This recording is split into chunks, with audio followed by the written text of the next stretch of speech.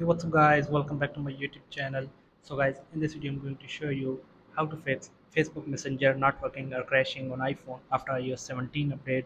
So guys let's just start this video without wasting any time. So guys i have updated my iphone to ios 16 version. So here you can see guys i have ios 17 version.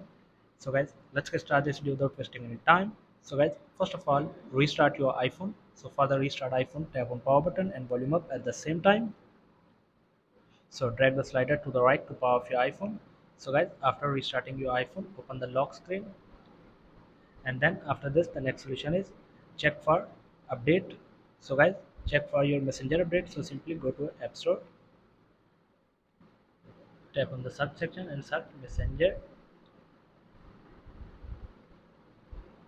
So here is the facebook messenger. So guys if you haven't updated your iphone messenger app so simply update your messenger app. So 8 hour go back now and then after this the next solution is reset network settings. So for this go to settings scroll down tap on general scroll down tap on transfer uh, reset iphone tap on reset tap on reset network settings into your password. So guys simply tap on reset network settings. And then after this the next solution is and then after this the next solution is reinstall the messenger app. So simply tap and hold on the app tap on remove app tap on delete and simply tap on delete. So after deleting this app go to app store and reinstall again.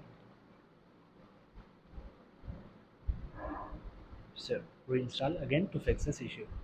So guys so guys here are the some simple solutions to fix your iphone messenger issue after ios 17 update. So guys thanks for watching this video please like uh, like subscribe uh, like and subscribe this channel. Thank you guys. See you in the next video. Thank you